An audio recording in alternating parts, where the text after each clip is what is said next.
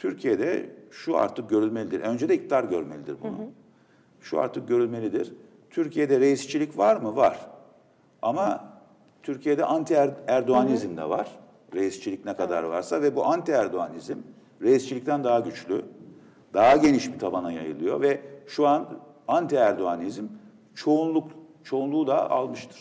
Şimdi reisçilik azınlıktadır bugün Türkiye'de. Ciddi manada belirgin bir azınlığa düşmüştür.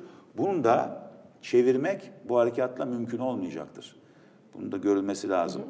Ee, ben bu harekatın içeride, yurt içinde e, iktidarın umduğu coşkuyu, milliyetçi kabarmayı, e, işte böyle bir e, hani militarist bir e, efori halini falan yarattığı kanaatinde değilim. Bence insanlar sükunetlerini koruyorlar, olan biteni izliyorlar, merak ediyorlar evet. Ama e, iktidara yönelik desteği bariz bir şekilde arttırdığı kanaatinde falan değilim.